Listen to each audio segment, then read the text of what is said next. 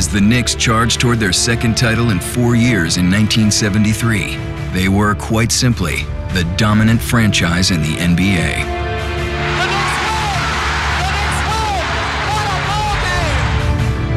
With their Game 7 victory in Boston to clinch the Eastern Conference Finals, the Knicks became the first team to win an elimination game on the Celtics' home court and set themselves up to face and defeat the Lakers for the title in five games. And that's the story. The New York Knicks have defeated the Los Angeles Lakers, and they race off the court with the 1973 World Championship.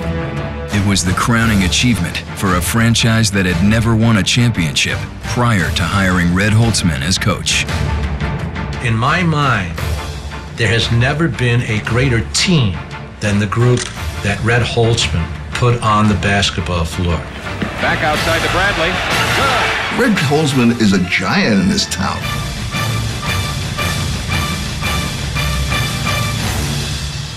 Red's a New York player through and through. Holzman, a child of Jewish immigrants from Russia and Romania, was nicknamed Reuter, the Yiddish word for red. He grew up in Brooklyn and went to Franklin K. Lane High School. A little known fact, Red Holzman went to high school with my father in Brooklyn. They were teammates on the handball team. They won the city championship in 1937. But it was basketball where Holzman excelled and where he decided to focus his attention. When Red Holzman was growing up in the uh, 30s, basketball was Jewish sport, primarily.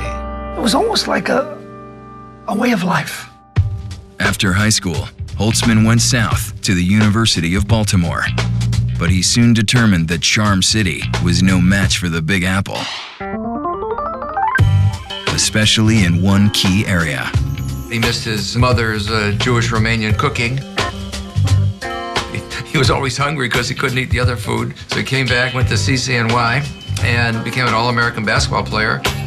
And he played under one of the legendary coaches of all time, in Nat Holman. Nat Holman was the Babe Ruth of basketball at that time. That's the kind of coach that Red played under at City College. But I remember people talking about it when he played for City College. He would take the shirt right off your back. And much of his early knowledge and much of his groundwork in, in his later career as a coach came from his years under Nat Holman at City College. Tough, hard nosed, never give up. As was the case with so many young men of his era, Red put his life and his career on hold after college to serve his country. Red felt that it was his duty. He was an American, he was a New York guy, and uh, when the Navy called, he went. After three years of service, it was back to the court. When Red was a professional player, he played in sort of that vagabond era, or at least he started prior to the birth of the NBA or the BAA in 1946. And Red played for a terrific team called the Rochester Royals. For Rochester, he started at, at some point. He had a good uh, set shot, a two-hand set shot. He could drive. He was a tenacious uh, defensive player, and he was smart. He was more of a, a guy that was playing tough defense, a guy that was moving the ball, a guy that was uh, always putting the team first. Red was a floor general. He was the point guard. He was sort of the coach on the floor, as we call him today. So much so that he was asked to be a player coach for the Milwaukee Hawks. By the time the franchise moved to St. Louis, Holzman's playing days were over, but his coaching career had only just begun. Following his mid-season dismissal as coach of the St. Louis Hawks, Red Holzman was not out of work for long. It was time to go home. Red came back to New York in 57 as an assistant uh, with the New York Knicks.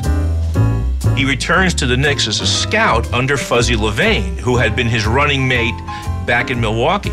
Fuzzy becomes the head coach of the Knicks, and he immediately hires Red as a scout. And Red enjoyed scouting. He scouted some very fine players. He was scouting people like uh, Walt Frazier. Impossible effort by Walt Frazier. Like Phil Jackson. like Willis Reed. Ultimately, those people that eventually came to the Knicks. First time I met Red was at our old gym on Grambling campus. He had scouted all the players. Had a nice pinstripe gray suit on with a nice tan London fog raincoat. Very cordial. Smoking a stogie. So I liked him.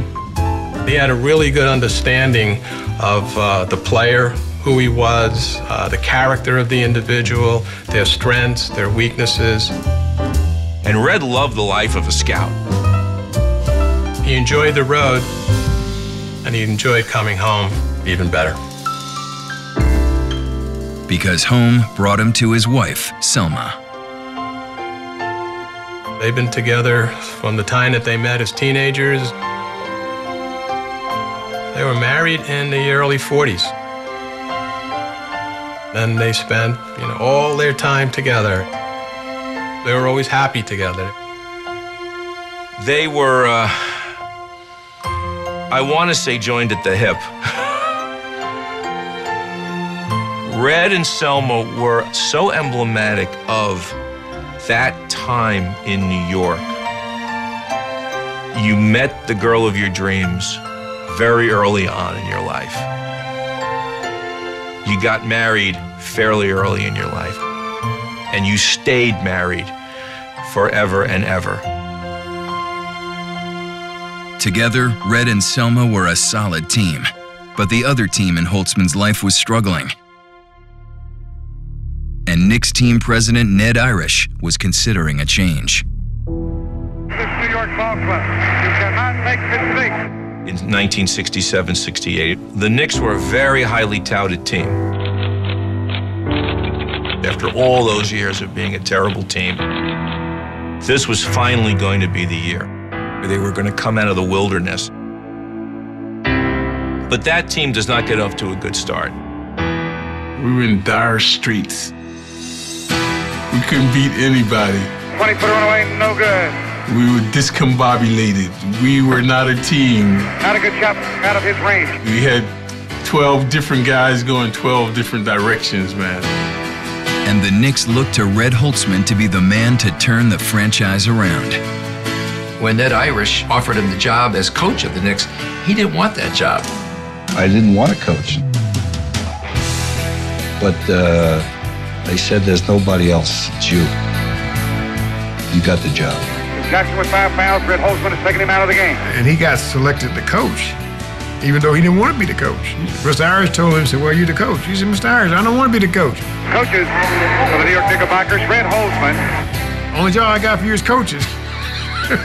you the coach. you know, so Red became the coach. He just didn't want to be prominent, didn't want his picture in the paper type person, you know. And it's kind of funny how life turns out. So Red took over, and the, the Knicks wound up winning 28 of the last 45 games, and wound up uh, getting into the playoffs. Yes, Bill Bradley. And again, they steal it. And Walt Frazier has 23 points. It was enough to assure both the club and Red himself that he was indeed the man for the job.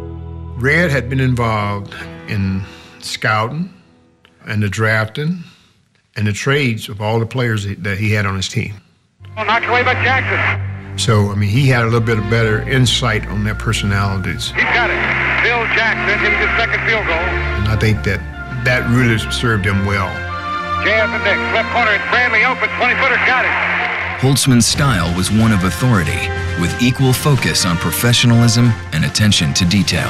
And you just try to do the best job you think you can do at the time, and you try to make the moves you think are proper. Sometimes they work out right, sometimes they don't. He instituted a mentality that the Knicks uniform stood for something both on and off the court, and wearing it came with a sense of responsibility, no matter what your status was on the team. Right away, he cut out all the shenanigans. The only way you're going to play is that you play the way I want you to play. Only one set of rules, his rules, his way, the highway. I think they felt that we were playing the game right for them. He established his control immediately by having something like uh, 21 days straight of practices. And I think I was able to get my point across. In addition to discipline, Holzman also stressed the importance of another D. Red Holzman believed in one thing above all others. You're talking about team defense. That was defense. Team defense. The commitment to defense. Team defense. Full court defense, pressing defense. Pressing and picking guys up. They're pressing, they're sagging. Defense from baseline to baseline. He said, We're going to play full court defense. And see all these plays we have? It's not about these plays, it's about how well you want to play together. On Holzman's Knicks, the whole was always bigger than the sum of its parts. All 12 guys on the team were equally important. They just embraced the feeling of teamwork. I saw more camaraderie. Sacrifice yourself if someone has a better shot or is in a better position. They weren't as selfish. Red wouldn't tolerate it. You wouldn't play. It was to their best interest to be unselfish. You saw the unselfish play of the Knickerbockers. So there was more ball movement, more teamwork, and more spontaneity on the court. The players would work for him. Railing under the basket for the. And he wanted an honest day's work. All these things can be done if, if you have good personnel, and I feel that we have good personnel. Discipline, defense, teamwork. The Knicks' new philosophies were starting to pay dividends, and success was on the horizon. The Knicks had had a great playoff run in 69, so they are now everybody's favorite to win in 1970. Sensational for the New York Knicks. And they get off to that incredible start. Touch right, driving hook, yes. In the fall of 1969, the Knicks went on an 18-game winning streak, Outside Reed, jumps from 20, then a league record. And it's intercepted. Put in by Dave DeBusschere. Number 18 featured a dramatic comeback in Cleveland against the Cincinnati Royals. If this is pulled out, it will be one of the miracles of basketball. He makes it. The Knicks go in front. They throw in. Reed at his touch. It's over. The Knicks win 106 to 105. What a game! Well, it was a special time. What a game! It was a special time for those of us who played on the Knicks. I think it was a special time for those who were fans of the Knicks. Best basketball in the league. You start winning, you start believing in yourself, and you start getting better. They began to realize that they could compete with everybody. They could beat other teams. We were pulverizing teams. You kind of knew this was it for the Knicks. We were rolling. We knew we were a bona fide team. Devastating first half by the New York Knicks. There was an air in this city that had never been seen before. The New York Knicks became the hottest ticket in town. New York City became alive. Holzman's squad started the season 23 and 1 DeBusschere hits from the front. and just kept on winning. Back outside to Bradley. Good. With book deals, commercials, and a host of interesting personalities, the 1969-70 Knicks were the toast of the town. Yet their frontman preferred to stay out of the limelight. Red Holzman was, was one of the most humble and selfless people I've ever known. Red was pathologically modest. I thought that game was really a sign of a great You coach. spread the word about I that, did. Cal. He didn't want all that attention on him. I don't know what part your coaching plays in it. Today, there's a, a cult built around certain coaches. That's the opposite of who Red Holzman was. You just try to do the best job you think you can do at the time. There was no cult of Red, and so inevitably there became a cult of Red. You try to make the moves you think are proper. Sometimes they work out right, sometimes they don't. Red's quiet confidence and no-nonsense approach led the Knicks to a franchise record 60-win season. They just completely took off that year. Out in front, they swing it to Bell. Back to Bradley. 18-footer angle right. Yes. Bill Bradley. Finished strong, and, and the rest, of course, was history. There's the ball game, and the Knicks win. A tremendous victory for the Knicks. Playoff series wins over the Baltimore Bullets and Milwaukee Bucks set up a finals matchup against the Lakers. In Game 7 at the Garden, Willis Reed's dramatic one-legged performance, I think we see Willis coming out. coupled with Walt Frazier's 36 points, 19 assists, and 7 rebounds, They're allowing Walt Frazier to take charge. Led the Knicks to a dominating victory and their first NBA title.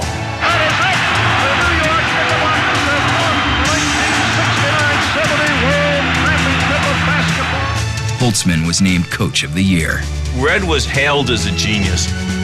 And I think the guy that was least impressed with all of that was Red. There has never been a greater team than the group that Red Holzman put on the basketball floor.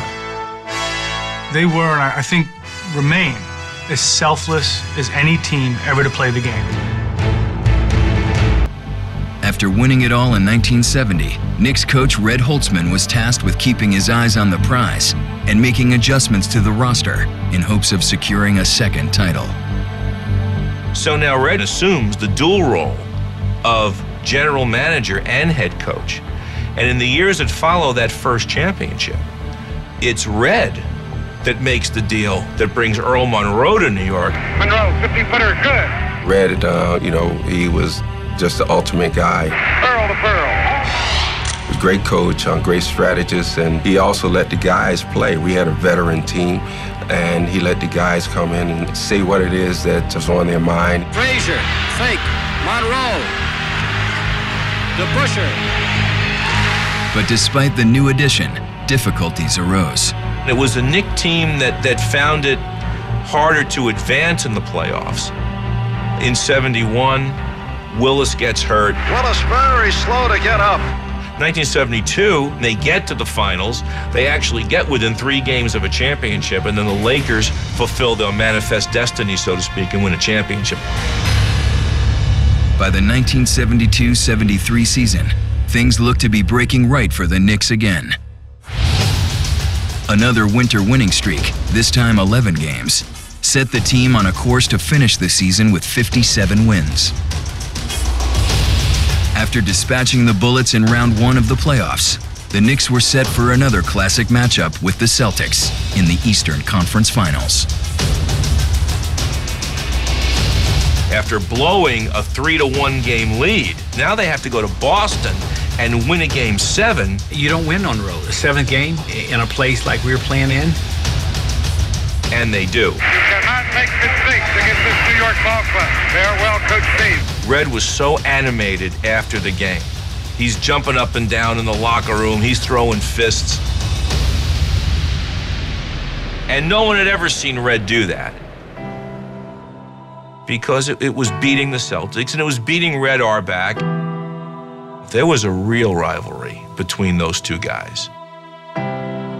Having earned the right to again face the Lakers in the NBA Finals, 12 seconds to go. Let's see what Red Holzman has in store now for New York. Holzman's Knicks took the title in five games, capping a remarkable four year run. To Reed Willis, uh, hooked by Bradley, and that's the story. The Knicks were the epitome of team basketball, and Red Holzman was the was a great coach. The New York Knicks have defeated the Los Angeles Lakers. To get those type of personalities, and that type of talent together to win two championships, it's amazing. And they race off the court with the 1973 World Championship. Holzman would remain as head coach for four more seasons, and then returned in 1978 for another four. As the only man to lead the Knicks to the title, he remained a part of the organization for the rest of his life. Red still felt he had a lot to give. He still went to all the games, and he always felt that he was a, a Knick. He would come to the games and sit with Selma. And you could see how happy he was just to be around. When the Knicks go through that incredible run in the 90s, Red Holzman is there and visible for every step of the way. That was a tremendous moral lift to everybody uh, because Red was the guy that showed everybody how to win. Five years after being inducted into the Basketball Hall of Fame, Holzman's number was retired on March 10, 1990, with 613 commemorating the number of coaching victories he had with the Knicks. That 613, up there means a lot to me. Red Holzman died of leukemia on November 13, 1998, but his influence remains in today's NBA through coaches like Phil Jackson, who credit Red as a teacher and a mentor. Red used to say, Well, the NBA is a great life. I'd like to thank all my former players for making me such a good coach. It's these games, all these games we had to play. If it wasn't for the games, what a great life it'd be. So that was kind of Red's type of humor. I feel they always gave me an even shake. And when I got a little too big for my britches, they put me in my place. 1970 and 1973, that great feeling will always be there for all New Yorkers and all NBA fans, and it's a wonderful feeling to have. Red Holzman was the first Knick coach to win a championship, and he is still the only Knick coach to win a championship. I really do want to thank my family, uh, my daughter Gail, and my wife Selma. Even if that's all he did, he would have a unique place in the history of the team. But then when you realize that Red was a New Yorker through and through, that he molded a team the likes of which we really haven't seen since then, and through it all, he remained the same guy. He remained Red. Red Holzman, Knick forever. And it's the way that you should say it. He was red. He was red. Thank you very, very much. You know.